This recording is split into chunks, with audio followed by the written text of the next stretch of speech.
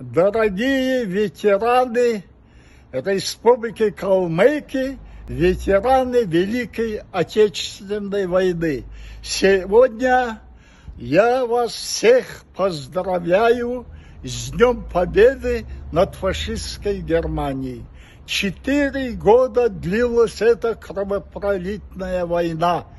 Сколько горя она принесла.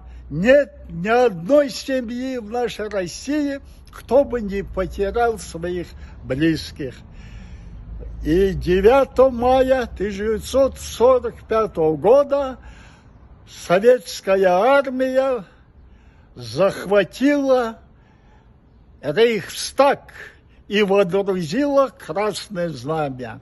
Так закончилась Великая Отечественная война.